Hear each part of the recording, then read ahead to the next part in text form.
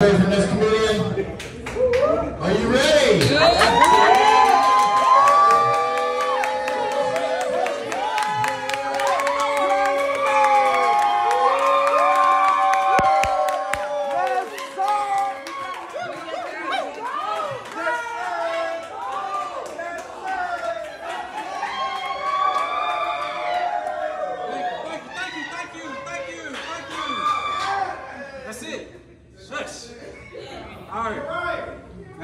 Those those in the front that don't know me, my name is D'Shaun. All right.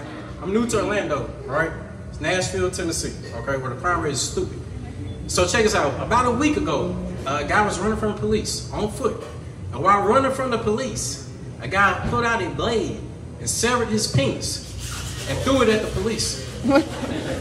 Yeah. And first of all, like, that, and like, and kind of messed up. It's like nobody deserves to have a dick thrown at you. You know what I mean? You know what I'm saying? Nobody deserves it. I don't care what you did. You know.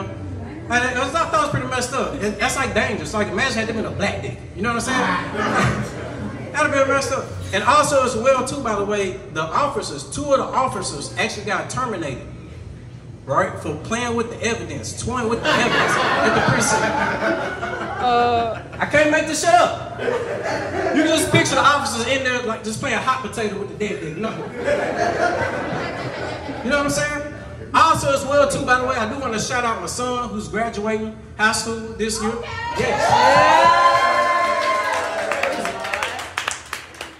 Number one resource student in Nashville, Tennessee. Ain't that something? Yeah. Smartest, dumbest kid in Nashville, Tennessee. I can't wait to see him graduate. That way I can wipe the tears across my face, like I can drool across his lip. You know what I'm saying? I'm so excited for it. Now, I also have a son, uh, Samuel, that's in Nashville, Tennessee. That's my baby work I wrote.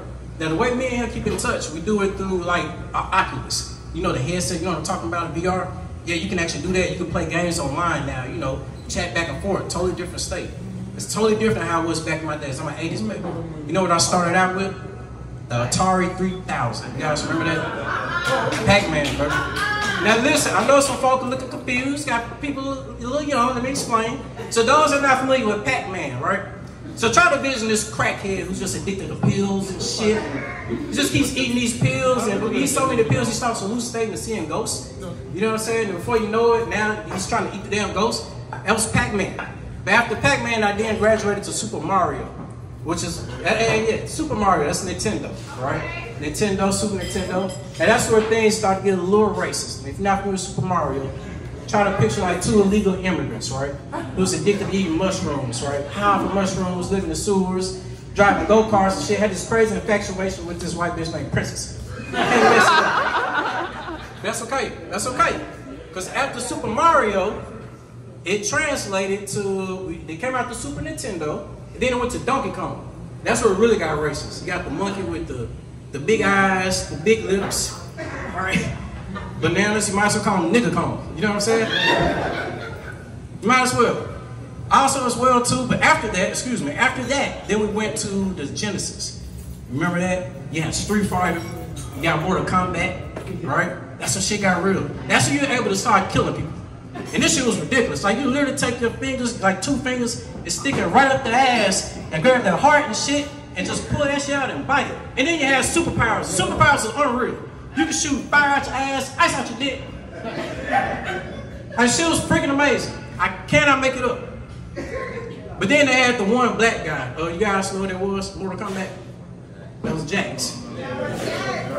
Jax. Jax had metal arms, y'all. Whack ass superpower. I don't about no no black guy want that shit. You know what I'm saying? That's whack. That's whack. They're gonna give me a real superpower. They give me the ability to change colors. That way, if I'm getting chased by police, I gotta cut my dick off. I just turn white. You know what I'm saying? Beautiful. I also well, like to announce as well too, by the way, man, I'm officially uh, one year uh, recovering pornaholic. If you want to, you don't even gotta clap. Just take your hands to this jacket. Yeah. One year, baby. I'm done. That's it. I haven't touched it one year. I haven't even watched it. One year. Stay clear away from it. Let me tell you how I know I was starting to get like addicted to that porn. It's like really good, right? I started like with, like searching up shit that wasn't even like normal. I started searching up pregnant midgets, which is crazy because I didn't even know midgets could get pregnant. You know what I'm saying? You feel me? Right? You know that? That's like that's like a baby having a baby. You know what I'm saying? And then I was like, you know what? I need to spice it up because now that's starting to get boring. So then I searched up pregnant midget orgies. Man, listen, pregnant midget orgies. Oh boy, you got this big pool of just bubbling water. What do you call the, the what is it? The, the jacuzzi, the hot tub, man. The bubbling water, hundred midgets, just little pieces of fat white. Look like someone was boiling a big pot of chicken nuggets. It was unbelievable. Listen, my name is D'Shaun the comedian. That's my time. You guys have been great.